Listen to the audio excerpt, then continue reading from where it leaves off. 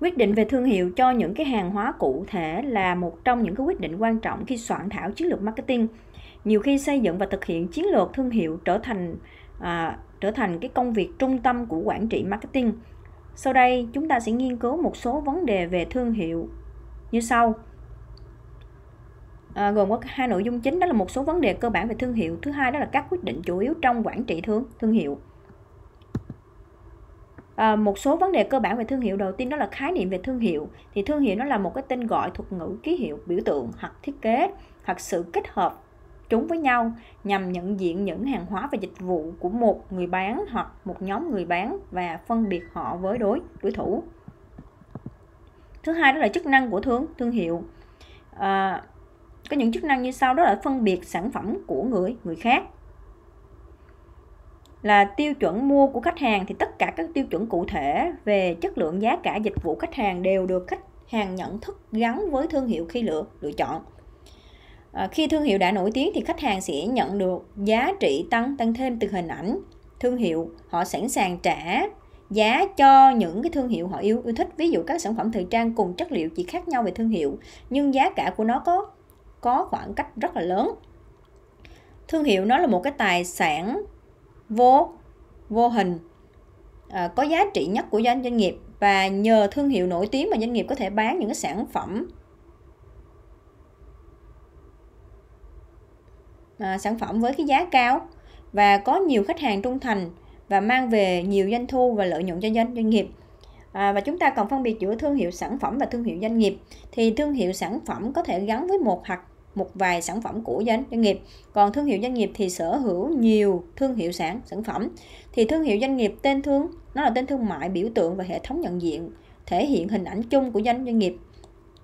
Đó trên thị trường ví dụ như thương hiệu Honda, Apple, Samsung thì hoạt động quản trị thương hiệu cần được quan tâm từ việc xây dựng, phát triển, quản lý các cái thương hiệu sản phẩm và thương hiệu uh, doanh nghiệp của của họ.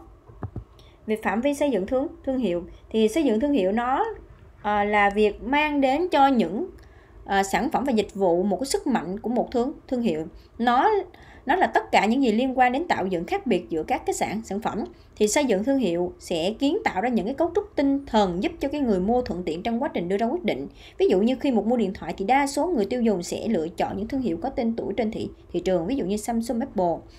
Và các nhà quản trị có thể à, xây dựng cho tất cả các cái đối tượng à, hoặc là xây dựng cho một hàng hóa một vật chất dịch vụ một tổ chức một người một nơi hay là một sáng sáng kiến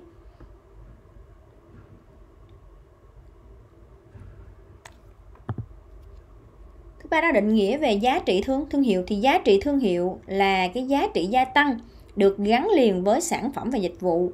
Nó được phản ánh trong cái cách người tiêu dùng nghĩ, cảm nhận và hành động đối với thương hiệu cũng như trong giá cả thị phần và lợi nhuận thương thương hiệu tạo tạo nên. Thì uh, giá trị thương thương hiệu uh, dựa trên cơ sở khách hàng có kiến thức thương hiệu với hiệu ứng khác nhau của người tiêu dùng đối với sản đối với cái hoạt động marketing thương hiệu đó.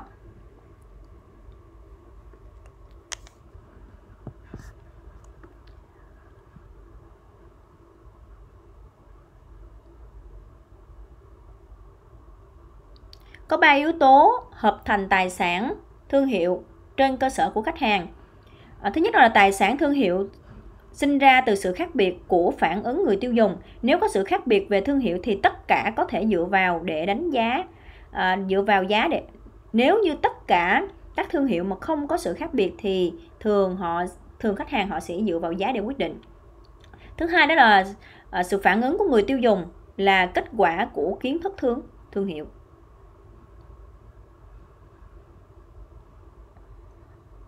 Và tất cả những suy nghĩ cảm giác hình ảnh trải nghiệm và niềm tin liên quan đến thương hiệu thì thương hiệu phải xây dựng sự liên tưởng mạnh mẽ. À, thương hiệu phải xây dựng cái sự liên tưởng thương hiệu mạnh mẽ triển vọng và độc đáo đối với khách hàng. Ví dụ nói với Toyota là sự tin tưởng Amazon là sự tiện lợi Honda là chất chất lượng. Thì giá trị thương hiệu được phản ánh trong nhận thức và sự ưu tiên và hành vi liên quan đến tất cả các khía cạnh của uh, của việc tiếp thị một thương thương hiệu thì các cái thương hiệu mạnh sẽ mang lại cái doanh thu cao cao hơn.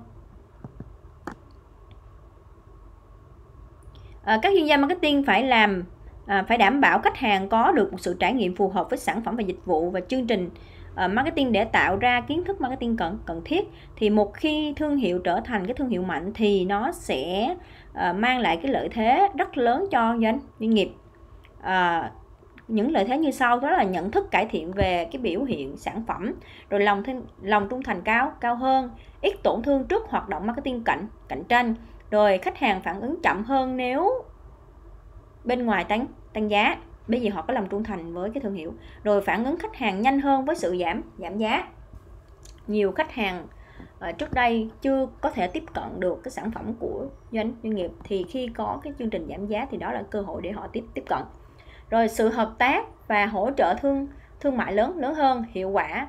Rồi hiệu quả giao tiếp và tiếp thị giá gia tăng. Rồi cơ hội đăng ký cấp phép khả khả thi. Cơ hội mở rộng thương hiệu giá gia tăng. Rồi tuyển dụng và giữ nhân viên được cải cải thiện. Lời lợi nhuận từ các hoạt động kinh doanh cao hơn lợi nhuận thị trường tài chính cũng cao cao hơn. Thì đó chính là những cái lợi ích của cái việc mà uh, uh, thương hiệu trở thành một thương hiệu hiệu mạnh.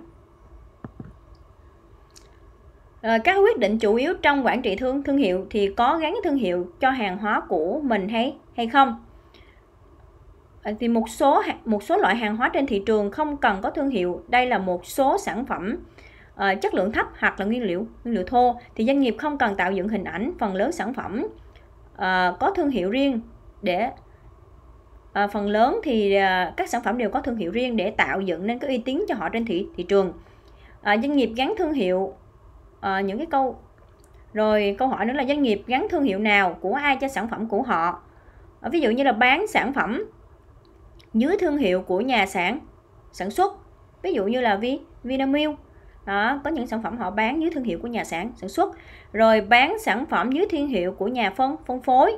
Nhiều mặt hàng xuất khẩu của Việt Nam như quần áo, giày dép, gạo, cà phê, điều thì bán ra thị trường quốc tế dưới thương hiệu của nước nước ngoài hay các cái siêu thị hiện tại, các cái kênh trung gian họ có những cái sản phẩm mang tên thương hiệu của họ do một số cái nhà sản xuất có tên tuổi làm ra. Rồi bán thương hiệu của cả nhà sản xuất và nhà phân phân phối đây là cái chiến lược gắn thương hiệu hỗn hỗn hợp. Thì tùy vào lĩnh vực mà doanh nghiệp sẽ xây dựng thương hiệu doanh nghiệp hay thương hiệu sản sản phẩm. Ví dụ như ví dụ như những lĩnh vực về dịch vụ ngân hàng giáo dục thì họ tập trung vào thương hiệu uh, doanh doanh nghiệp. Còn ngược lại đối với những một số ngành sản xuất ví dụ như hàng tiêu tiêu dùng thì họ tập trung vào cái việc xây dựng thương hiệu cho từng sản sản phẩm. À, như là khách hàng họ họ mua sản phẩm bột giặt Omo và họ không cần biết đó là thương hiệu của Unilever và đặc biệt và các bạn biết là những người ở các vùng quê thì họ cũng không quan tâm đó là có phải là uh, của Univer hay là của với doanh nghiệp nào khác. À, quá trình quản trị marketing nó diễn ra các bước sau. À, thứ nhất đó là xác định cái sứ mệnh tầm nhìn cho thương hiệu doanh nghiệp và tập hợp sản phẩm doanh doanh nghiệp. Thứ hai đó là lựa chọn và xác lập cấu trúc thương hiệu sản phẩm. Thứ ba thiết kế thống thiết kế hệ thống nhận diện thương hiệu. Thứ tư đó là xây dựng thương hiệu sản phẩm thành thương hiệu mạnh thứ năm đó là các công việc quản lý thương hiệu trong quá trình kinh kinh doanh thì bước một À, bước một đó là xác định sứ mệnh tầm nhìn cho thương hiệu doanh nghiệp và tập hợp sản phẩm doanh nghiệp. Thì tầm nhìn thương hiệu phụ thuộc vào cái mục tiêu và định hướng chiến lược kinh doanh của doanh nghiệp và các cái phân tích đánh giá lợi thế cạnh tranh khác của doanh nghiệp trên thị thị trường.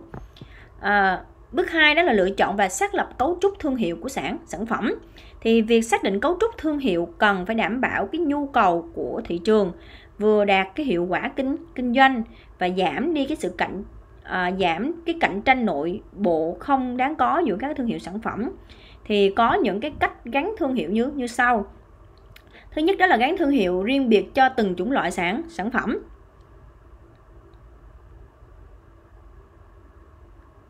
Thì có đặc tính à, gắn thương hiệu riêng biệt cho từng chủng loại sản phẩm có những đặc tính khác nhau ít nhiều.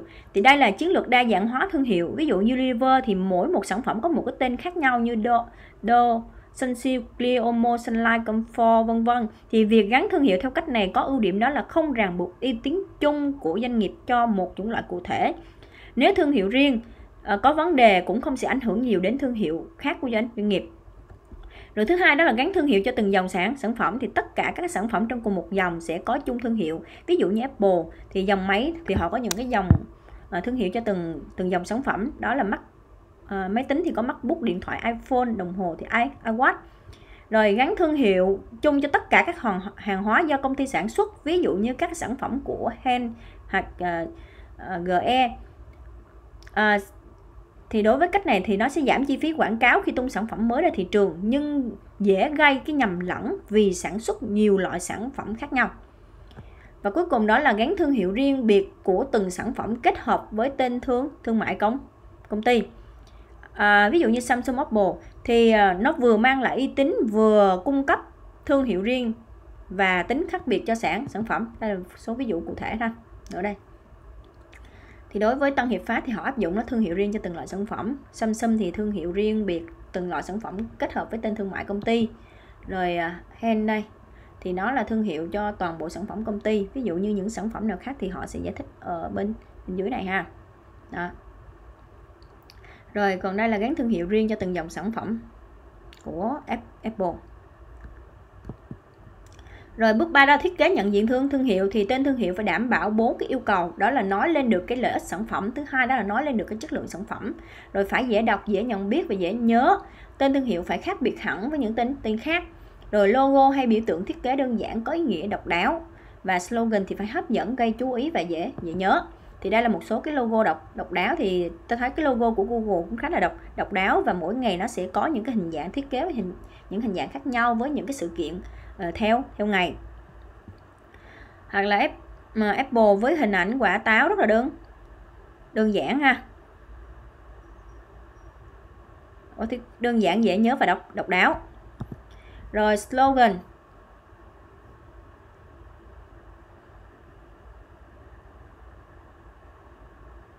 À, slogan của các hãng Viettel thì nó hay nói theo cách của bạn. Copmart thì bạn của gọi nhà Prudential là luôn luôn lắng nghe luôn luôn thấu thấu hiểu. Rồi bước 4 là xây dựng thương hiệu sản phẩm thành thương hiệu mạnh. À, để xây dựng được thì cần phải nghiên cứu các yếu tố sau. Thứ nhất là sản phẩm có chất chất lượng. Đó là điều hiển nhiên ra ha. Một trong những yếu tố để xây dựng thương hiệu hiệu mạnh. Rồi sản phẩm xuất hiện đầu tiên trên thị thị trường cái gì đầu tiên cũng sẽ dễ dễ nhớ. Rồi phải có chiến lược định vị nhất nhất quán thường xuyên thì trong cái phần chiến lược định vị à, chiến lược uh, định vị chúng ta đã học. Có chương trình truyền thông mạnh mẽ hoạt động bán hàng hiệu quả và có chiến dịch quảng cáo khuyến mại quan hệ công công chúng. Rồi thời gian và sự kiên kiên định à, phải có nghĩa là việc xây dựng thừa việc xây dựng thương hiệu nó phải bền bỉ ha. Trải qua một thời gian gian dài mới ờ, mới mang lại được cái kết quả chứ không phải một số một chiều chúng ta có kết quả kết quả ngay. Rồi xây dựng thương hiệu nội nội bộ thì à, nó sẽ bao gồm những hoạt động và quy trình để giúp cho thông tin và cho nhân viên một cái khát vọng về thương thương hiệu. Thì chính nhân viên và những nhà phân phối sẽ là người truyền đi cái thông điệp của doanh doanh nghiệp.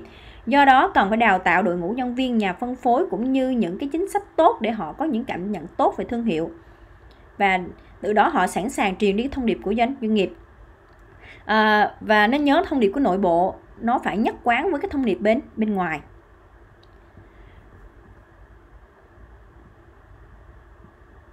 Uh, yếu tố tiếp theo đó yếu tố cuối cùng đó là cộng đồng thương thương hiệu. Thì nó là một cái cộng đồng thương uh, nó cũng giúp cho cái việc xây dựng thương hiệu mạnh đó là cộng đồng thương thương hiệu. Nó là một cái cộng đồng người tiêu dùng và nhân viên chuyên dụng có sự nhận biết và tập trung vào thương thương hiệu.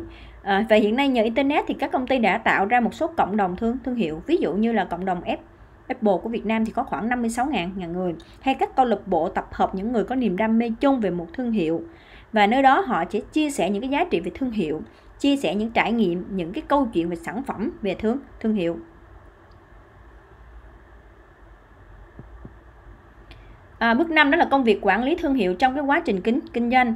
Thì à, doanh nghiệp cần phải thường xuyên đánh giá sức khỏe các thương hiệu trên thị trường nắm bắt xác định và cách và các cái chính sách cũng như các biện pháp marketing phù phù hợp. Thì trong thực tế thì có nhiều hoạt động làm giảm đi cái uy tín của thương hiệu như là giảm giá liên tục cho những cái thương hiệu cao cao cấp hoặc đưa ra sản phẩm ở phân khúc thấp cho những cái thương hiệu ồ, uh, cao cấp. Và làm cho khách hàng họ nhận thấy được rằng nó không còn là một thương hiệu cao cấp nữa. Và vì vậy đó cũng là một số lý do vì sao Apple đến tại thời điểm này họ vẫn chưa phát triển những ờ, cái sản phẩm ở phân khúc thấp thấp hơn rồi thứ hai đó là có có nên mở rộng giới hạn có nên mở rộng giới hạn thương hiệu hay hay không? À, doanh nghiệp sẽ đưa thêm cái sản phẩm mới vào thị trường cùng dòng cũ hoặc khác dòng. Thì ưu điểm ưu điểm nó sẽ tận dụng uy tín của doanh nghiệp hiện có để giảm cái chi phí quảng cáo nhưng nếu sản phẩm không tốt thì nó sẽ ảnh hưởng đến thương hiệu thương hiệu chung. Rồi sự quản lý à, sự sử dụng một hay nhiều thương hiệu cho các hàng hóa có đặc tính khác nhau trong cùng một mặt mặt hàng rồi mua bán và nhượng quyền sử dụng thương thương hiệu nó giúp danh, nó giúp cho cái danh mục thương hiệu lành mạnh và hiệu quả hiệu quả hơn. Rồi tái định vị thương hiệu và loại bỏ thương thương hiệu, nếu như nó không phù phù hợp. Và cuối cùng đó là cái hoạt động kiểm tra sản sản phẩm, là một trong những hoạt động kỹ thuật xem xét và đánh giá các cái khía cạnh của sản phẩm để đưa cái đưa ra cái quyết định tiếp tục kinh doanh hay cải tiến uh, hay loại bỏ sản sản phẩm thì hoạt động này được tiến hành thường xuyên như là một cái nhiệm vụ chính của nhà quản trị marketing. Thì mục đích kiểm tra sản phẩm là tìm kiếm những điểm yếu để loại bỏ cái sản sản phẩm đó ra khỏi thị thị trường. Thì dựa vào các yếu tố sau để quyết định có nên loại bỏ hay hay không. Thứ nhất đó là sản lượng uh, bán sản phẩm. Thì theo thời gian có giảm đáng kể hay không tại sao lượng bán giảm do nhu cầu của khách hàng hay là do sự cạnh tranh của đối đối thủ? Thứ hai đó là sự đóng góp về lợi lợi nhuận thì sản phẩm đóng góp bao nhiêu lợi nhuận và lợi nhuận có bị sụt giảm hay không? Rồi chi phí bỏ ra của sản phẩm đó so với lợi nhuận mang về như thế nào? Nếu chi phí mà thật sự thấp hơn nhiều so với lợi nhuận mang mang về thì cần phải loại bỏ cái sản phẩm đó ra khỏi thị thị trường. Thứ ba đó là chu kỳ sống của sản phẩm. Thì sản phẩm đã tới một cái thời kỳ suy thoái chưa? Và sự phát triển của doanh nghiệp mới có đe dọa cái sản phẩm này hay hay không? À, nguồn lực để mà sản xuất cho sản phẩm này có đang sản xuất cho những cái sản phẩm bán chạy khác hay không. Nếu thực sự nó cùng song song một lúc sản xuất cái nguồn à, ví, nếu như cái nguồn lực đó cùng song song sản xuất cùng một lúc cho sản phẩm bán chạy và không bán chạy thì chúng ta nên loại bỏ cái sản phẩm không bán chạy ra để dành cái nguồn lực cho cái sản phẩm bán bán chạy. Thì để quyết định có nên hay không thì cần phải trả lời những câu hỏi chúng ta vừa xét đến một cái nhiệm vụ khác của kiểm tra đó là cải tiến sản phẩm nhằm tìm ra những đặc tính cần thay đổi để bắt kịp với cái xu hướng và đáp ứng cái nhu cầu của khách hàng cũng như tăng cái tính cạnh tranh trên thị thị trường. Và tổng kết của nội dung bài học hôm nay thì các bạn cần uh, cần phải phải nắm. Đó là nhà quản trị nhà quản trị cần phải nắm được các cái nhân tố trung tâm của quản trị marketing Ờ, quản trị chiến lược sản phẩm và quản trị thương thương hiệu. Phải nắm được các quyết định cơ bản về quản trị sản phẩm các quyết định về dòng sản phẩm về bao bì dịch vụ đi kèm sản phẩm. À, nhà quản trị để có thể quản trị tốt về dịch vụ cần phải nắm bắt được các cái vấn đề cơ bản về dịch vụ cần tạo ra sự khác biệt về dịch vụ quản trị về chất lượng dịch vụ và quản trị cái kỳ vọng của khách hàng. Doanh nghiệp cũng cần tích hợp cái công nghệ tự phục vụ để bổ sung thêm sự lựa chọn dịch vụ cho khách khách hàng. À, nhà quản trị cần phải nắm bắt cái bản chất của thương thương hiệu, xây dựng các cái yếu tố tạo nên cái giá trị thương hiệu và thương hiệu và thực hiện cái quá trình xây dựng và phát triển thương thương hiệu để trở thành một cái thương hiệu thương hiệu mạnh.